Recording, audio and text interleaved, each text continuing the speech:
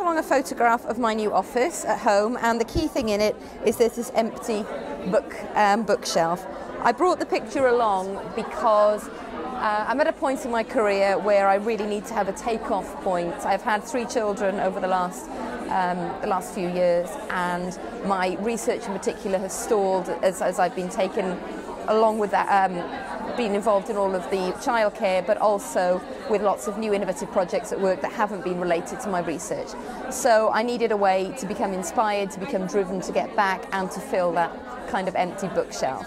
And as the, this has gone on, I've been inspired to do lots of things that I wouldn't have done had it not been for the programme that are helping me to fill that bookcase. That's partly the um, ability to network, the ability to draw on contacts. I've had confidence to approach um, publishers that I possibly wouldn't have had before, and I've drawn on a very extensive mentoring network within my own institution facilitated by this process. Uh, I wanted to attend Aurora because I needed uh, something to drive me along. I needed, I wasn't getting anywhere where I was going, and I wanted some sources of inspiration, some um, some ideas on how I could proceed, how I could maintain um, and better my academic position.